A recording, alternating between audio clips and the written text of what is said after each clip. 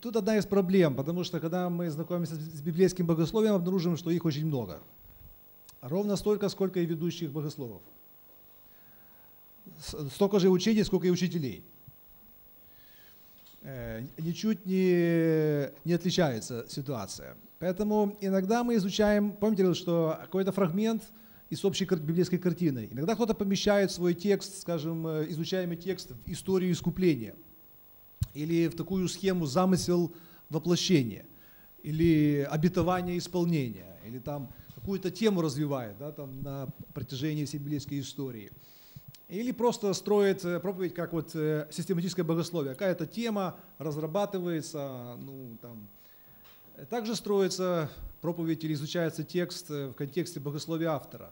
Например, там Павла или Иоанна или Луки. Лука мой герой, я его очень люблю.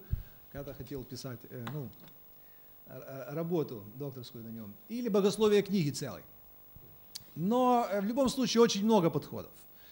Я вас хочу немножко просто, так как нет времени, мой такой э, излюбленный вариант или тема. Э, нас в Библии интересует несколько вопросов. Как минимум, существует ли в Библии единая тема? Вот если вы скажете «да», я спрошу вас, какая? Назовите тему, которая бы объединяла всю Библию. Тем более, что у нас такой маленький секрет нашей христианской веры, что у нас как бы ну, Библия отличается. Есть иудейская Библия, есть Танах, но у нас э, Библия это, в принципе, ну, евреи не ряд Библия. Я не знаю, не слышал. Ну, бывает, используют, я, я, я читал иудейских исследователей в Израиле, ну, они, как говорят, Библия, ну, понимают, понимают. Или когда говорят библейская литература, то предполагает общенаучный термин, который, ну, кто занят библеистикой, то есть это уже стал термин. Но это не присуще религиозной традиции. Так ведь? Есть Танах и есть христианская Библия. И более того, э, Танах э, есть Септуагинта. Порядок книг тоже определяет, последовательность книг она имеет богословское значение. Это не просто так, одна книжка там, другая там. Она имеет какую-то уже э, какую-то герменевтическую э, ну, э, задачу. И более того, как соотнести тогда Новый Завет, книги Нового Завета с Ветхим Заветом? И что их объединяет? И вот если вы скажете, что да, есть одна библейская, одна тема, которая объединяет Библию, скажите, какая она? Иисус. Бог. А как это одним предложением, одной фразой сказать? А как это одной фразой сказать? Ну, давайте, ну, варианты, то есть принимаются все.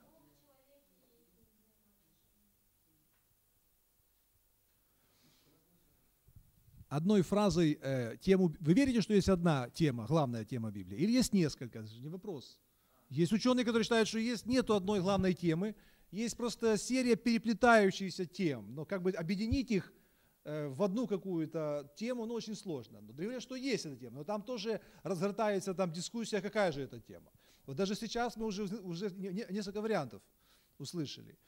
И поэтому, если одна мета-тема, то есть мета-тема, то есть тема, которая покрывает, то есть э, впитывает в себя, синтезирует все, все сюжеты, да, или все библейские темы, и выдает нам какую-то одну интерпретационную такую, знаете, модель, что я могу увидеть, посмотреть на Библию сказать, что вот, и выразить Библию Э, учение Библии или ее весть одной фразой.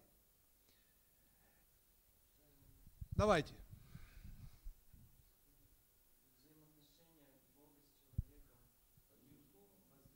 Ну, одной фразой, э, нормально, одной фразой.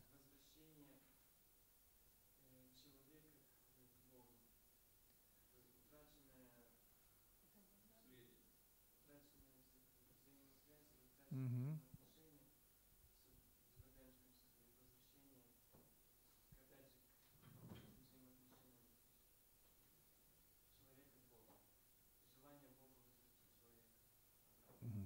Это у нас уже э, пошла уже целая конструкция.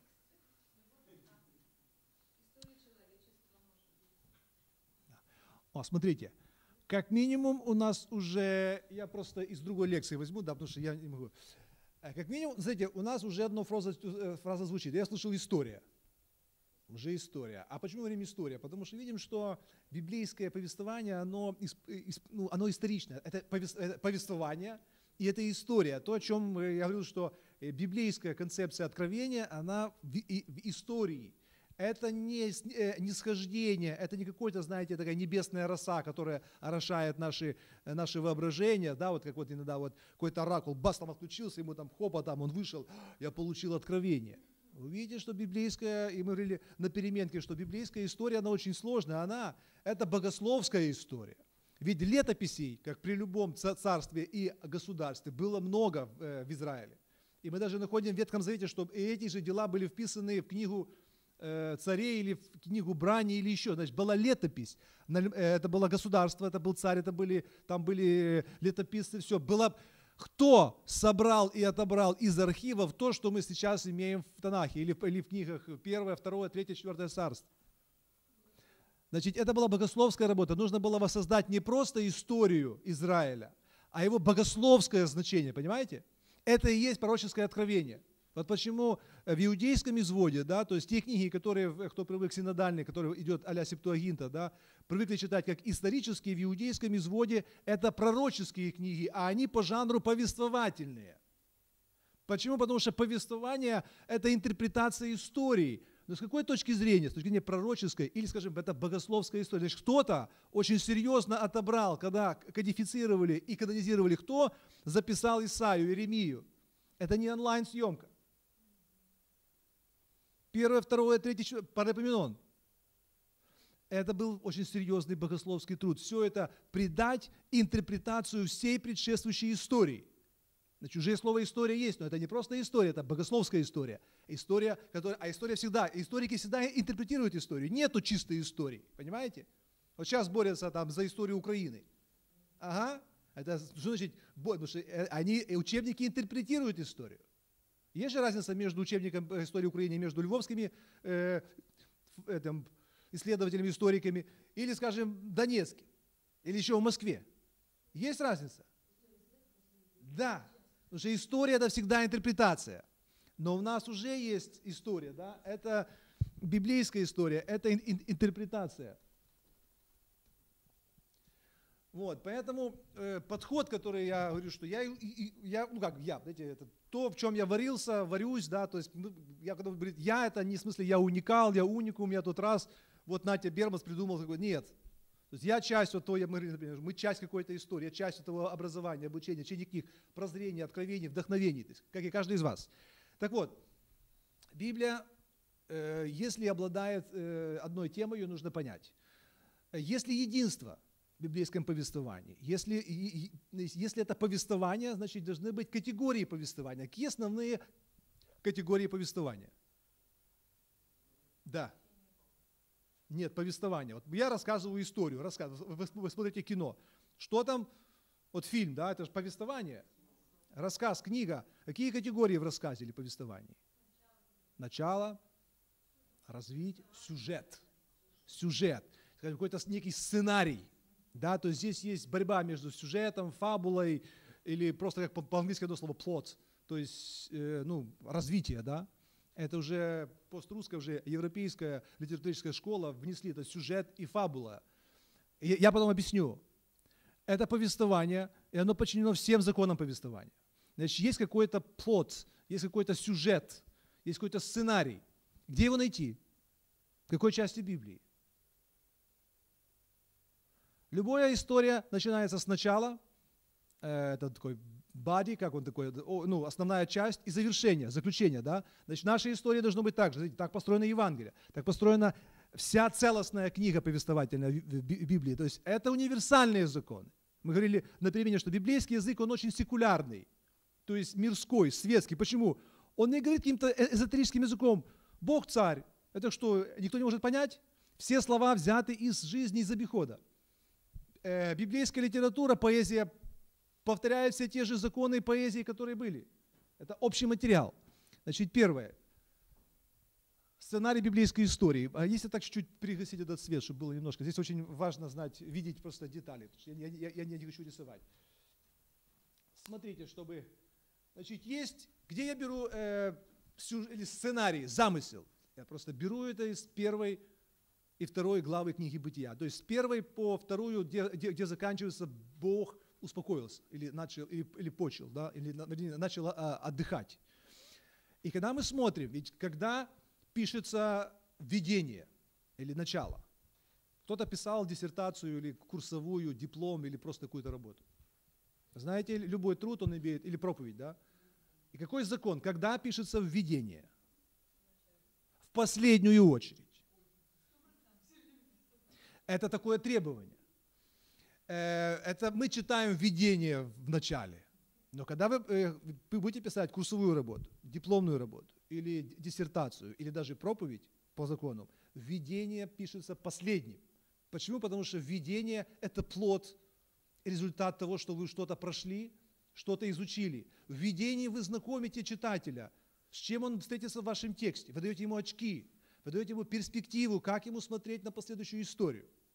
Вы можете это принять, или можете не принять, я понимаю, то есть, но я считаю, что в первые главы книги Бытия, введение, оно имеет богословскую, здесь можно спорить, э, когда э, датировка этих текстов, не имеет значения, но то, что оно дает линзу, оно дает перспективу, как должно развиваться библейское повествование – то я там сейчас просто хочу аргументировать. Здесь не вопрос, как мы датируем. Моя личная датировка этого текста, там, ну, мое личное мнение, то есть, но оно не, не меняет суть функции этого введения. Да? Введение должно дать очки, введение должно дать направление, как смотреть на дальнейшую историю, потому что у нас очень а, а, как бы идет контраст очень серьезный между первой главой и второй главой. Библейский язык, библейский рассказ, он очень образный повествовательный. И вот смотрим, когда мы смотрим первую, книгу, первую главу да, о сотворении, какая последовательность? Я обнаружил такую, очень, очень просто, я вас не буду сейчас в детали. Значит, Бог, творение, человек, умножение, владение, покой. Так? Бог сказал, творится мир, потом появляется последний штрих творения человек, все к этому готовилось. Потом Бог благословляет человека. На что Он его благословляет? умножение, владычествовать землей и покой. Теперь смотрим, это схема, это сценарий всей библейской истории. Чем заканчивается вся библейская история? К чему она стремится? Покою, к шалому. Должен прийти шалом. Это очень важно для философии или богословия проповеди. К чему я должен привести человека? Потому что, понимаете, и каждый, дальше я рисую следующую такую Э, вниз пошла стрелочка, да, это как все остальные книги Библии показывают, как этот сценарий воплощается или исполняется. Если использовать литературные категории, говорил, что вверху это фабула, внизу это сюжет. Но мы не будем, я не буду вас отягощать этими. Просто будем использовать такую, такую идею. Сценарий, замысел и воплощение, как этот сценарий воплощается в истории. Теперь смотрите, каждая книга, это возьмем, если так образно, это Тора – это там э, повествовательные пророки, смотря независимо какой это будет, э, по какому изводу, да, до Нового Завета, что все книги показывают, каким образом исполняется этот сценарий. Какой сценарий? Бог, творение, человек, владычество, покой. Значит, здесь я обнаруживаю в видении ту перспективу, которую открывает нам Библия дальше, о чем она будет рассказывать. Я, если еще э, нужно забить один гвоздь в гроб вашего неверия, это шутка, я еще, смотрите, чем заканчиваются последние главы христианской Библии? 21-22 книги, э, главы книги Откровения. И увидел я что? Новое небо, новую землю. И что там увидел? Народы, и утрет Бог всякую слезу. И что? Покой, шалом. Вы видите, как сценарий воплощается до последней главы этой драмы, этого повест... великого повествования, великой истории. Значит, все остальные книги показывают, каким образом эта драма или этот сценарий реализуется в истории. И как он, в принципе, интерпретирован нашими авторами, богодохновенными авторами, которые увидели ну, под действием Святого как это действительно происходило. Но они интерпретировали все. Это понятно сейчас? Все, все, все видели. Значит, вверху, это образно говоря, первая глава рисует нам перспективу. Вы так улыбаетесь, вы не согласны. Не, не, все нормально. Ну, так хитро так вот. Значит, рисует нам перспективу, что Бог творит, потом человек, благословение, владычество и покой. И все это все книги Библии показываются, как этот сценарий реализуется. То есть есть надежда, что он будет реализован. И книга Откровения показывает, что таки да, он видится Бог, видится новое творение, новое человечество, их много, значит, уже план по умножению осуществился, потому что идет движение от сада к горсаду. То есть история начинается, э, э, первая пара поселяется в саду, а заканчивается тем, что этот сад уже просто часть города, это горсад. Понимаете, значит, уже умножились. Есть народ. И в 25 главе книги э, Евангелия от Матфея, там Иисус говорит, что когда Он отделит, да, вот придет, то, что скажет, войдите благословенные в то, что было вам уготовано от начала мира. А что было уготовано? И эта фраза, обычно говорят, что ты нас время назад тянешь? Я говорю, вот эта фраза нас и тянет назад. Нужно ответить на вопрос, а что было уготовано от начала мира? А уготовано от начала мира было то, что написано наверху. Есть? И в книге Откровения очень часто, что ты соделал нас царями, да, и будем что? Владычествовать на земле. Это будет еще одно, может быть, для некоторых откровения, потому что богословие диспенсации помутнило, ну, мозги, мне так кажется, разделило, что есть какие-то два пути спасения, два народа. Есть какая-то церковь, которая будет жить на небесах, какая-то э, платоническая идея, и Израиль, который будет жить на земле. Так вот, э, я не разделяю такого богословия, я тут не вижу этих, этих богословий. Когда Павел говорит, что есть, когда весь Библия говорит, вся история, есть один Бог, один народ, один завет, один Бог, один завет, один народ, одна история. Понимаете?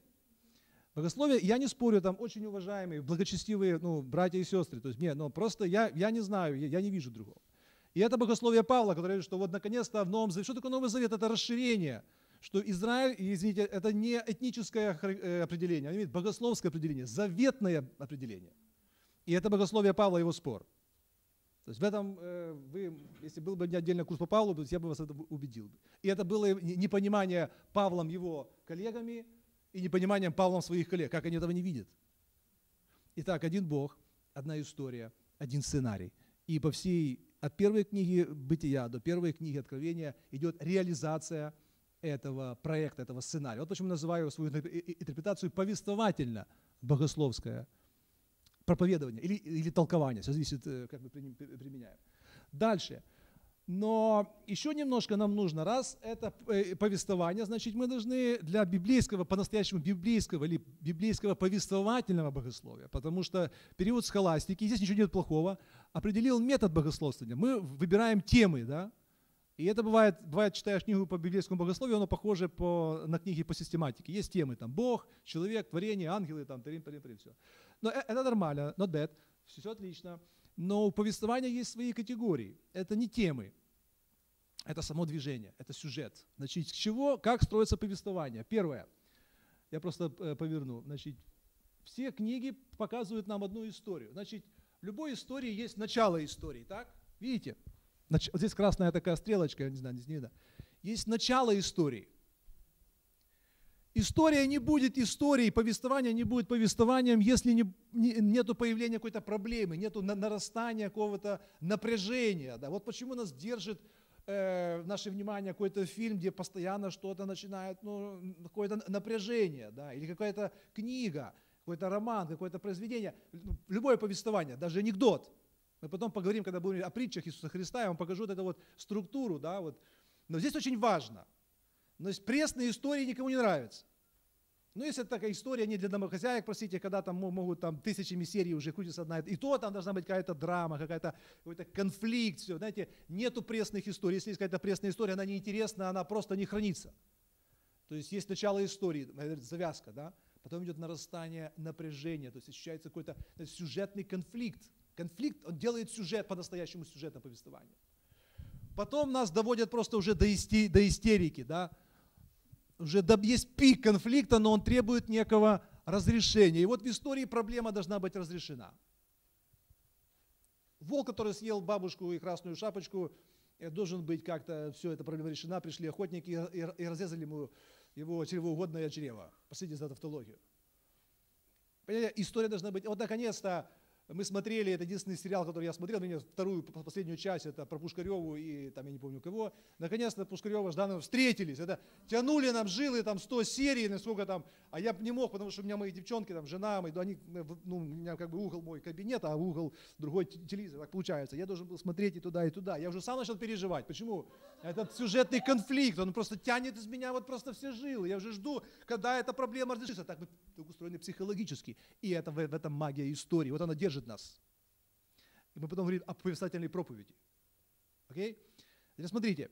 И вот проблема решена, все, они встретились. Обычно это последний поцелуй в сцене, да? Ну, самый потрясающий фильм о любви, который э, мы вот недавно его показывали, это «Дневник памяти», или память, «Дневник памяти», да. Вот там, они так наконец-то вообще умерли вдвоем один день. Это просто воплощение всех сказок. Но это потрясающая история. Как там построен сюжет, а? Как, вот, если вы хотите интересно проповедовать, но на такие повествовательные проповеди, смотрите, как люди делают фильм или делают историю, или какой-то роман, или какой-то фильм. Понимаете? И вот смотрите, вот эта история. Если построена ли, и потом проблема решает, и что? Сюжетное э, равновесие восстановлено. Равновесие восстановлено. Все. Встретились, поцеловались. Отлично. А теперь смотрим, являет ли наша э, библейская история вот такое повествовательное единство с началом, с напряжением конфликта, с пиком конфликта и с... Есть. Значит, мы уже нащупываем единство, и это, в этом я просто был, я уже хотел разувериться в библейской истории, но вот это вот мне не позволило. Потрясающее единство сюжета. Где у нас начало? Сотворение. Где у нас появление напряжения, конфликта, э, ну, напряжения в сюжете? Грех. А потом постоянно идет напряжение. У нас не дает Ветхий Завет э, happy end. Его нету. Но good news, нету никаких э, добрых вестей. Все идет вниз, вниз, вниз. Только раз началось вниз, только раз началось вниз. Тут появился раз э, только там Ной появился потоп, только раз там что-то люди там наконец-то выжили в Вавилонской башне, потом раз Авраам, хопа уже плен. Только вы вышли из плена, пошли в землю период судей. Все вниз, вниз, вниз, вниз, вниз. Опа, Давид, вот она звезда. Но что сделали сыновья? А потом Соломон. А потом все вниз, вниз, вниз, вниз. Вавилон. Понимаете? Но дальше Новый Завет подхватывает. Вторая часть. Ну, есть, есть книги сейчас такие, ну, интересно, пять, пять частей, да, то есть пишут. Значит, и вот он конфликт, вот оно напряжение. Можете поставить где, где хотите. Э, в христианском повествовании, в повествовании христианской Библии это искупление. Проблема решается Ишуа Машиах с его искуплением. Проблема решена, но еще не восстановлено равновесие. И вот книга Откровения рисует завершение этой драмы, этого конфликта, да? И то, что мы сказали, последние главы э, книги Откровения. Вот вам единство повествования, единство сюжетной линии. Но тогда, если есть единство сюжетной линии, значит, должно быть единство на богословском уровне. Какая-то одна богословская метатема. Ну, обычно э, библисты или библейские ученые, они так ставят, что история так творение, падение, искупление, восстановление. Вот так вот можно смотреть. И некоторые оспаривают эту схему, но схема э, ну, просматривается. Да? То есть это одно из, э, в принципе, таких подходов.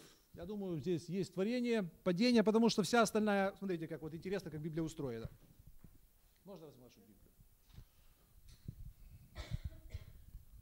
Вот условно возьмем, так сколько здесь. Первые две главки, ну, наша история, это всего лишь ну, одна страничка. Вот она. Если даже взять еще с обложками, там несколько оглавления, вот она одна. И последние главы, там, даже если я тут возьму карты, словарик, там, со всеми симфониями, там, еще чем хотите, и последние две главы книги Откровения, вот они, ну тоже одна страница, вот смотрите, вот, вот вам творение, вот вам восстановление. А о чем вся история? Мы в этом мире, в этом мире уже не живем, в этом мире еще не живем. А где мы живем? Вот в этом мире. Смотрите, сколько всего. Поэтому, когда говорят, э, смотрите, куда... Библия очень мало почему-то интересуется там духовным миром, там какими-то ангелами. Вот знаете, вот, может, это учение бывает. То есть вы возьмете Библию, ее, знаете, очень скупо. Библия очень человекоцентрична, она, Бога, ну, она говорит о Боге, но она очень сфокусирована на человеке и на земле.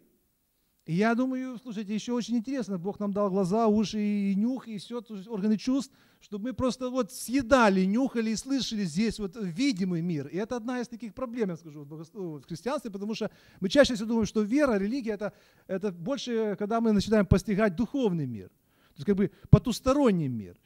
Я говорю, это ну, здорово, это неплохо, это нужно, но почему-то вот когда библейский мир, он очень земной мир. Очень земная история. Значит, богословие земли очень важно здесь. Понимаете? У меня сейчас нет времени говорить э, э, дальше э, богословии. Теперь идем дальше. Э, об, о единой метатеме. Метатема, то есть это такая... Здесь тоже дискуссии, но я придерживаюсь такого подхода. Говорим история. История Бога и человека. Как, история Бога, да, но очень много говорится о человеке. Если мы скажем, что история человека, сам история Израиля не только – если так обобщим история народа Божьего, да, но там два фигуранта. Есть Бог, значит, нужно совместить нам вместе. Поэтому я предлагаю назвать это, ну, как я предлагаю, историей царства Бога. На самом деле, э, сколько мы встречаем сотни упоминаний в Новом Завете о Царстве Божьем. Иисус вышел на проповедь, с чего начал? Покайтесь, ибо приблизилось Царство Божие. Это очень знакомая теологема, то есть знакомая фраза для, для иудаизма. То есть они ожидали Царства Божие. Разные интерпретации, как, как и Мессии, может быть. Учит в синагогах, учил их царству. Более того, мы встречаем, чем заканчивается книга Деяния апостолов. Прочтите последнюю, последний стих э, книги Деяния апостолов. Возьмите кто-то, вот, прочтите, вот, у кого есть там. Самый последний стих – главу и стих книги «Деяния апостолов».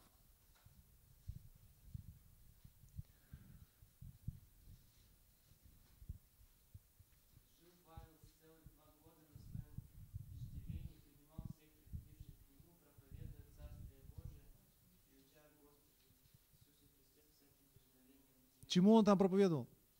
Царству Божию. От начала повествования Новозаветного до конца мы встречаем вот эту вот э, идею Царства Божьего. В центре не наши нужды, не личное спасение человека.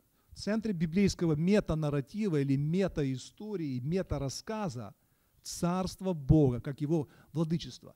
Э, несколько, может, нет времени это развернуть, да, то есть от начала до конца, все, все тексты, все, э, я просто сделаю кратко, да. Опять же, библейский язык очень образный язык, поэтому мы постараемся эти образы воспроизвести. В первой главе Э, творения Бог представляется образом, и дальше эта тема развивается, особенно у Исаии, и дальше формируется образ Бога-царя. И он становится очень мощным, давлеющим, потому что вторая глава нам рисует другой образ. Вот во второй главе э, история Адама и Евы, кого Бог больше напоминает? Видите, это язык не догматики, не доктрины, не бойтесь э, ну, ошибиться, это язык образа, язык повествования. На кого больше похож там Бог во второй, книге, во второй главе книги Бытия? когда он там Адама в сад э, привел там. На отца, мужчину, обычного восточного мужчину. Что он делал? Он приготовил место для своего сына, он научил его труду, он учит его мудрости, и он ему, принес, он ему привел невесту. То есть это очень такой обычный пасторальный или, ну, как сказать, такой, ну, пасторальный сейчас как он такой вот, деревенский такой обычный сельскохозяйственный, ну, вот такой, ну, как я забыл это слово, контекст, образы. Но первая глава, э, она кажется, что очень говорит такими какими-то абстрактными категориями да, Бога-творца. Нет, на мой взгляд, первая глава показывает образ Бога-творца-монарха, который восседает, и как восточные деспоты, восточные э, императоры сидят на высоте трона, и это очень образ у Исаи, свят, свят, свят, сидит, как это вот, чем длиннее, э, ну, у царя это как это, шлейф, да, тем он самый это сам. То есть он сидит и ризы, края риз, то все, он самый. То есть это язык не, не, не догматики, не доктрины, не, знаете, язык образов, который был понятен человеку.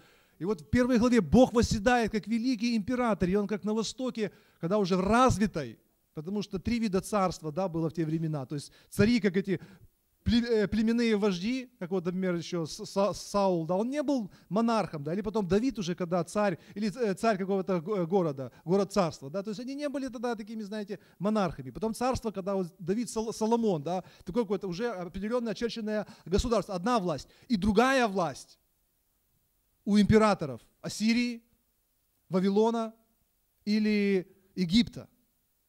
Там уже император это был уже обожествлен. И здесь вот этот язык нужно понять. Вот мой профессор, э, хотя он доктор Гарвардского университета, говорил, что настаивал, что эти главы были написаны вот египетский после египетский. У меня ну, есть другие соображения. Но тем не менее, что э, такой образ Бога мог созреть уже как откровение, как представление о Боге, когда был опыт порабощения какой-то империи. Египетской, ассирийской или, вавилонской где Бог, где, где царь, это просто уже был обожествлен. Всегда тоталитарная власть себя обожествляет. Культ императора Августа. И да, за Сталин, извините. То есть, понимаете, поэтому есть, смотри, царь это еще, еще где царь? В деревне царь, ну, это просто как вождь племени, не больше, да, или в каком э, государстве, или, или это империя. Так вот, в первой главе образ Бога как царя-императора, такой, знаете, деспотического характера. То есть не, не сам Бог, а такой вот, такого формата, где он просто говорит, как говорит царь. Он сказал на Востоке, все зашли в тронный зал, так знаете, на кончиков упали. Если он сказал сто раз отжаться, все вот отожмутся сто раз. Потом говорит, все, хватит, можете уходить, через пять снова вернетесь. Все выйдут и снова вернутся. Вот такой был тип царства там. Такой власти имел, не имел ни Саул, ни Давид, ни Соломон, никто, понимаете? Так вот, этот именно образ такого э, могущественного, который даже просто издает, он сказал. И здесь можно спорить, это, это не только богословские или онтологические категории, это образ, где Бог, да, здесь можно вывести какие-то богословские импликации, да, что Бог, но где вот он образ.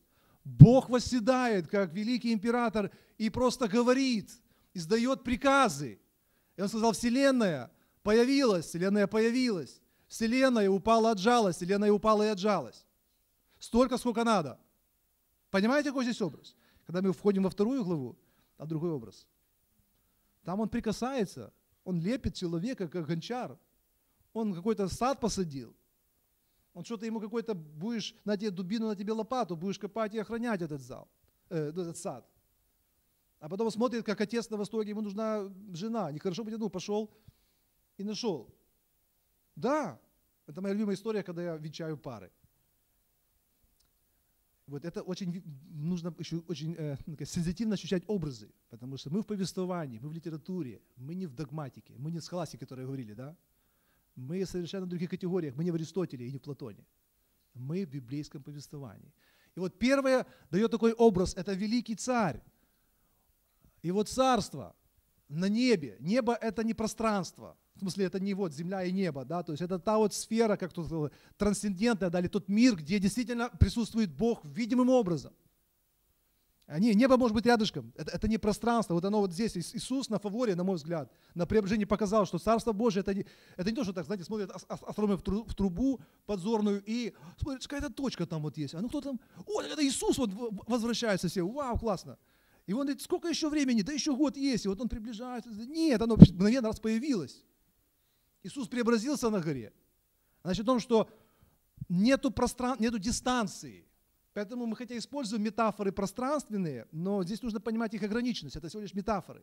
Они показывают нам метафизической картины или картины онтологической, да, то есть что как устроено, сущность, да. Поэтому Он великий царь на небе, его престол там на небесах, он полный славы, сияет. Этот образ, который потом мы будем видеть, да, вот свят, свят, Господь Саваоф. Вот он сияет. И вот первая глава, мы, наш сценарий, как его представить? Есть замысел. И вот он творит Вселенную, а потом Земля. В фокусе Земля. Что происходит? Какова цель? Уже сразу видим, что цель сразу, чтобы слава царя, слава Бога воссияла на земле. Царство Бога на земле из Эдема по всей земле.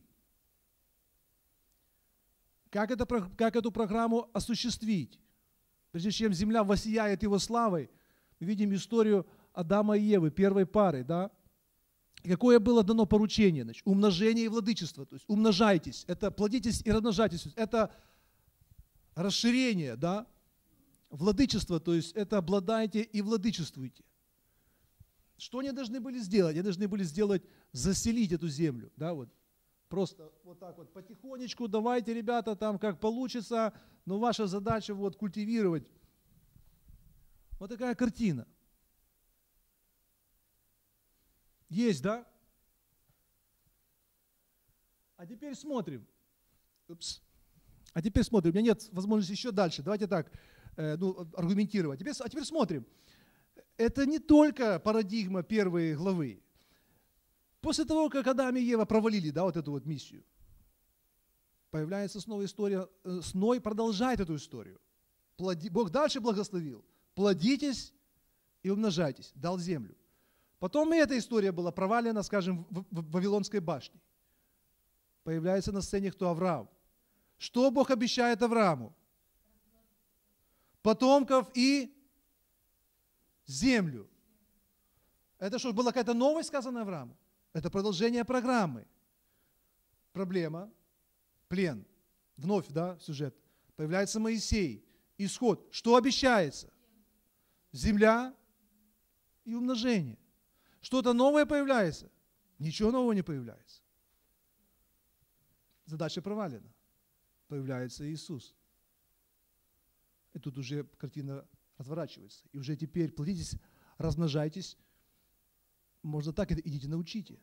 Идите научите. Все народы. И это из исполнения Авраамова завета. Все народы. Это не просто Авраам, это изначальное исполнение изначального сценария. То же самое в книге Деяния апостолов. Говорит, будете мне свидетелями от Иерусалима до конца земли. Это проблема эдемизации земли, которая еще была в, э, в первой главе книги Бытия. Заветы просто показывают, ну просто это другая тема уже. Понимаете? Вот это то, что это два образа. Значит, есть единство темы, это Божье Царство, его расширение, его, его распространение, которое не ограничено теперь, оно и не было ограничено только на какой-то этническими границами – Потому что вся земля, есть Бог, Творец неба и земли. Это Павел говорит, что Бог, что евреев только или только язычников. Бог, Творец всей неба и земли. Земля должна быть наполнена Его славой. Образ и подобие Бога, да, человека, это не какие-то онтологические категории. Образом и подобием Бога на земле были те, кто, о которых мы поговорим после переменки.